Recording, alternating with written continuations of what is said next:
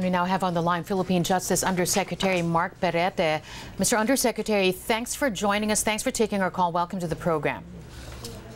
Hi, good afternoon. All right, so that syndicate uh, that Secretary Guevarra mentioned, how expansive are their operations really? And are you looking at just one syndicate here? Well, uh, right now we're still gathering information. Uh, as you know, the National Bureau of Investigation has been tasked by the Secretary to look into this matter. And as early as April last year, the Secretary has in fact ordered the NBI to investigate. Uh, up to now, we're still waiting for the final report from the National Bureau of Investigation. So this investigation has been going on for almost a year now.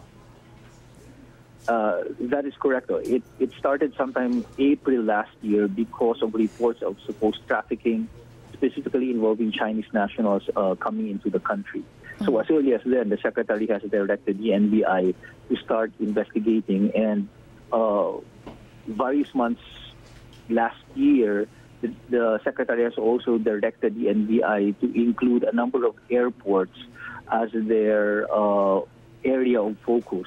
And in uh, a number of reports, preliminary reports submitted by the National Bureau of Investigation, um, they've been feeding us with uh, information regarding the development of their investigation. And in fact, uh, they've tried to, um, what do you call it, they, they've planned on having uh, entrapment operations to make sure that those responsible will be uh, apprehended in flagrante. Mm. And within that almost one year period, there was no opportunity for the NBI, for the, its attached agencies to make these entrapments a realization, Undersecretary? Uh, it's been an ongoing operation on the part of the National Bureau of Investigation. As we've said, um, the preliminary reports being given to us would indicate that this is somewhat a uh, complicated matter. And uh, but we've been constantly been apprised by the Bureau, the National Bureau of Investigation, of uh, the developments in their investigation. When you say it's complicated, does that also mean that maybe the NBI has been infiltrated as well?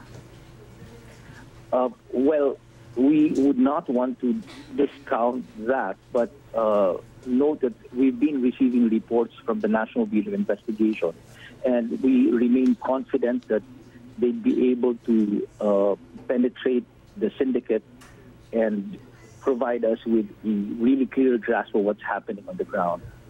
Now, we've heard about how Manila International Airport Authority General Manager Ed Monreal sympathizes with the Bureau of Immigration, saying that they will help in the investigation, also denying his group's involvement. But tell me this, Undersecretary, with what do you know so far? And as you said, the investigation has been going on for almost a year now. Is it possible for the syndicate to operate without the connivance of airport officials? Uh, we'd really have to wait for the uh, experts to weigh in on this matter. Uh, specifically, we need facts to be able to understand exactly how this operates and who are implicated in these operations. Okay, you say you need facts. What is making it difficult for the Justice Department to get to those facts? Well, as we said, uh, we have the investigators working on this matter, and um, in, in the course of their investigation, as we've said, we've added uh, more areas to be covered by their investigation. So uh, these are matters, operational matters that would have to be addressed by the NBI. Uh, note that the order of the secretary to investigate came at various points last year based on information received from various sources. And those information would have to be verified by the NBI. And they have done so, uh, except that they have yet to complete their report on the matter. And because of that, do you have reason to believe that your investigation may have been compromised, Mr. Undersecretary?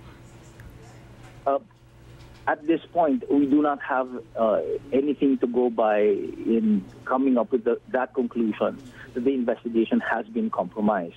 Uh, but again, we really await the report from our experts because this is an area of law enforcement where uh, the, the, DOJ relies heavily on the NBI for um, their expertise. Mm, what is going to happen, Undersecretary, to those who have already entered the country illegally?